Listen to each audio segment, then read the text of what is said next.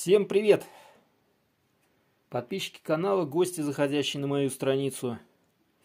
Вот такой вот погорелец у меня сегодня на ремонте. Радиоприемник ВЭФ с индикатором настройки ВЭФ Спидола 232. Вот, но какая у нее неисправность? Дело в том, что на вход этого радиоприемника, куда должна подаваться 9 вольт постоянного напряжения, кто-то подал с розетки 220.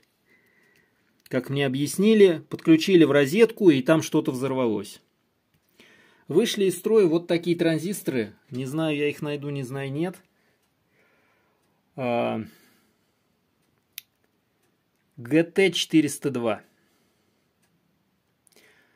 У меня, в принципе, такие транзисторы есть, но нужно будет их, конечно, поискать, посмотреть. Вот. Такой вот радиоприемник. В принципе, он так-то не в плохом состоянии. Видно, что он даже был под пломбами. Ничего здесь не паяно вообще абсолютно. Никто ничего не крутил. Я первый, можно сказать, кто его разобрал. Вот. Отдали радиоприемник. 83 год, июнь. То есть радиоприемнику уже 40 лет. Ну, попробуем его реанимировать. Провода все вроде у нас на месте. Вот. Приведу в порядок корпус. Все почищу, отмою. Думаю, что все будет нормально. Сейчас это просто опознавательное видео. Вот на шкала что-то здесь тоже вот плохо работает. Надо будет вереньерное устройство тоже посмотреть, подкрутить. Вот, и таким образом приступить к его ремонту. Больше здесь я вроде ничего не вижу такого страшного. Вот видите, да, взорвалось. Ну, все-таки 220 вольт и неизвестно, что они натворили здесь. Ну, начнем, конечно, вот с поиска транзисторов. Вот, радиоприемник. Здесь длинные, средние волны. УКВ диапазона здесь нет судя по всему, да? Да, у КВ диапазона здесь нет.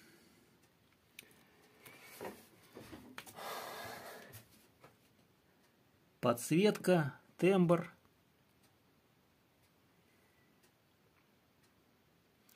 Вот. Такой радиоприемник. Конечно, по поводу, как будет проходить ремонт, я буду снимать видео. И, соответственно, может быть, у кого-то такой же тоже есть радиоприемник. В общем, буду восстанавливать эту веб-спидову. Корпус. Кто-то вот, ржав чем-то все убрать надо будет. Вот такой радиоприемник. Кстати, мне всегда привлекали радиоприемники вот с этой вот световой индикацией, у которых применяется вот этот вот индикатор точной настройки именно на светодиодах. У меня есть ролик, как я делал такой индикатор, я его самодельный собирал, ставил в радиоприемник VF202, и он, кстати, до сих пор отлично работает. А, и знаете, когда вот в темноте они вот перемигиваются, очень приятно смотреть. Вот, сейчас посмотрим, как здесь будет работать. Я сначала перейду поиску транзисторов. Вот, потом нужно будет почистить вот эти вот ножевые переключатели, диапазонные планки. Вот. Они, дело в том, что покрыты серебром. В советское время их покрывали серебром и специальной технической смазкой, чтобы был надежный контакт. Но многие, например, э, зачищали эти контакты э, нулевочкой, наждачной бумагой, и со временем этот вот серебро стиралось, поэтому ни в коем случае эти контакты не протирайте наждачной бумагой вообще. Их нужно протирать только спиртом, а лучше всего изопропиленовым. Вот. Ну что, приступим потихонечку к поискам неисправных деталей. Путешествие по схеме, которую я сейчас скачаю, буду смотреть. Ну и, соответственно, буду вам рассказывать, что и как здесь. Приступим потихонечку к ремонту. Ну вот нашел я несколько транзисторов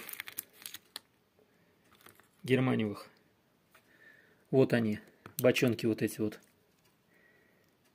402 76 -го года.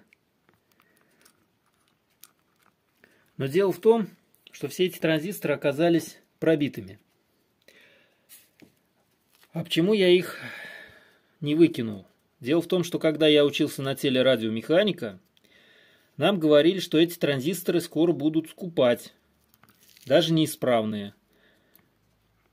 Потому что Германий это довольно дорогой элемент, природе его обнаруживается слишком мало, поэтому их будут принимать и за хорошую сумму. Поэтому я их и не выкидывал. Хотя у меня их вот большое количество, этих транзисторов. Вот уже штук 10 я, наверное, где-то нашел. Еще там вот лежат целая баночка всяких вот германиевых транзисторов. Но я думаю, что какой смысл их скупать, особенно пробитые, если там от кристалла, наверное, ничего уже просто-напросто не осталось. Я понимаю еще, если транзистор э, рабочий, там кристалл исправный, но здесь-то что? Я думаю, что это бесполезно, я их, скорее всего, выкину. Ну что ж, транзисторы у меня уже есть. Здесь стояли вот, по-моему, вот эти, что ли, 400. Вторые.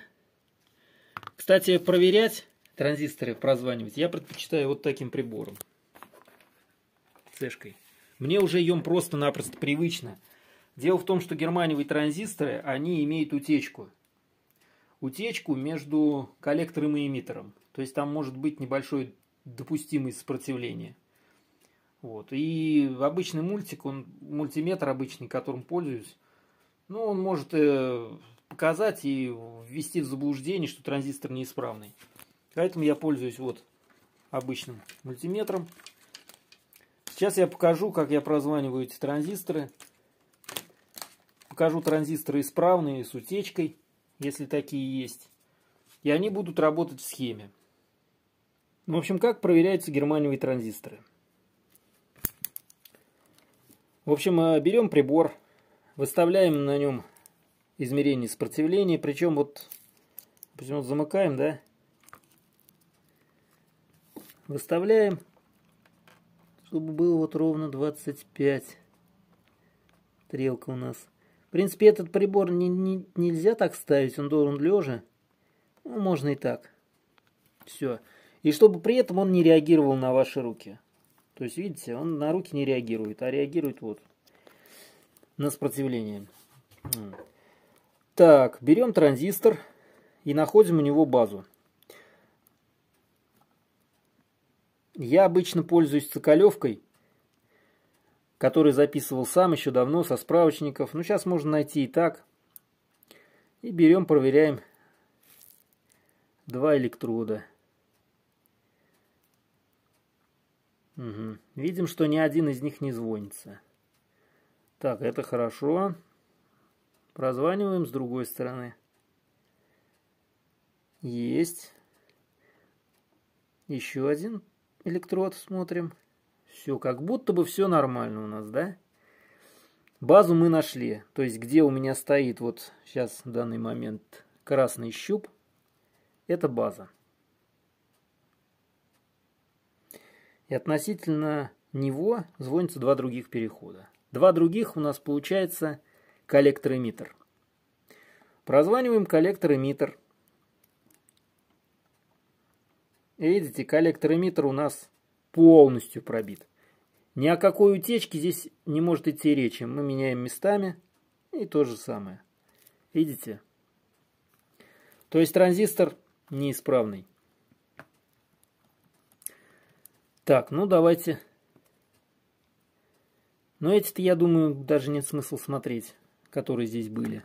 Видно и так, что они тут взорвались. Так, берем и следующий. Но всегда запоминайте, относительно какого провода у вас звонился. Вот относительно красного или относительно черного.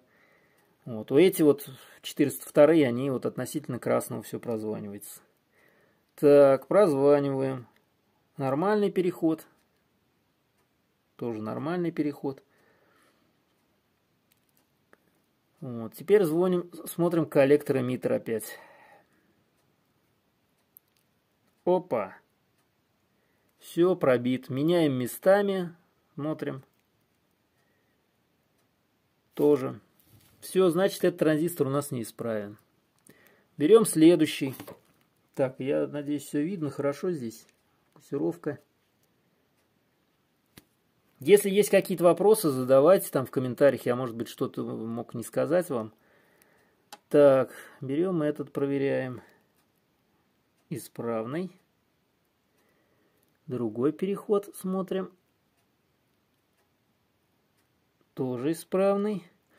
Ну а теперь коллектор-эмиттер. Смотрим. Коллектор-эмиттер. Видите? Ничего нет. Не прозванивается. Значит, это все нормально у нас. Транзистор исправен. Смотрим следующий.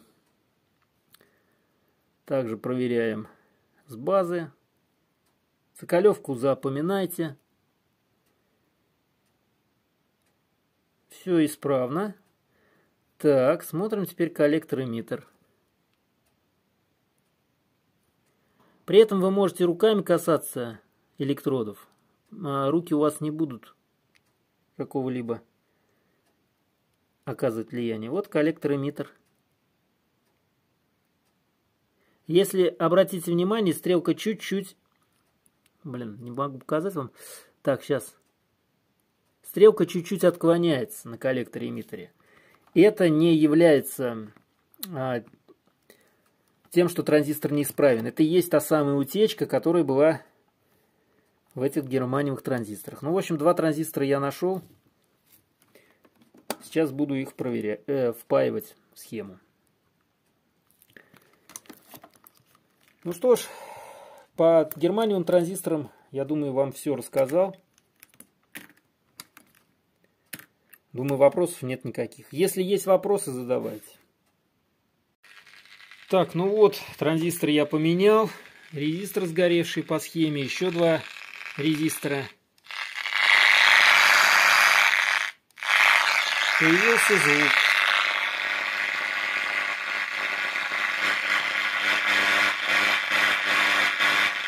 Усилитель работает. Индикатор тоже горит. Только он ни на что не влияет, его надо будет настраивать.